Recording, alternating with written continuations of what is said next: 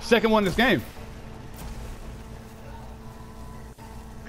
What are you doing, man? Like, did you really think you were gonna be able to gun me there? Like, bro.